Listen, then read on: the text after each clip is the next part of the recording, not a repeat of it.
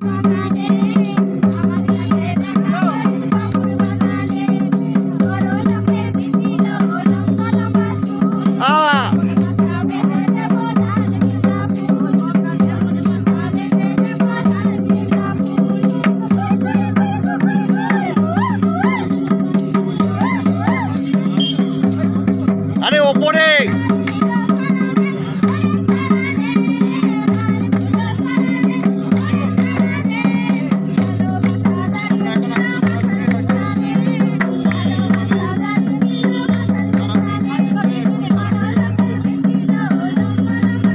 আরে কোমর দুলাতে হবে তো।